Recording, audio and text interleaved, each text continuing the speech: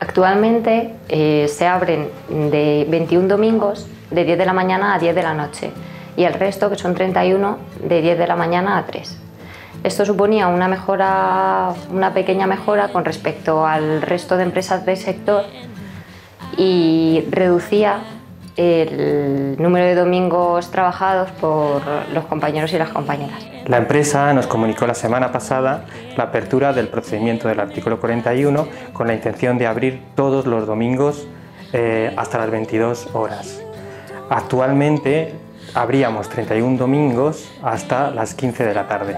Puesto que no tenemos constancia de que vaya a haber nuevas contrataciones, entendemos que estos fines de semana esta ampliación de apertura va a ser cubierta por los mismos trabajadores y trabajadoras que lo hacen el resto de la semana, con lo cual esto supone una vuelta de tuerca más a la prácticamente ya nula eh, conciliación de la vida familiar y laboral.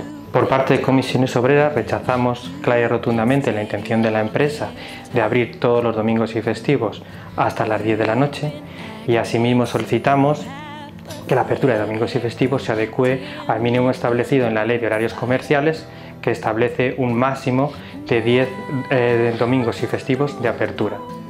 Solicitamos también que se regule el número de aperturas máximas de horas semanales. Comisiones Obreras considera imprescindible consolidar y mejorar el empleo estable y las condiciones laborales de los trabajadores y las trabajadoras del Leroy Merlin.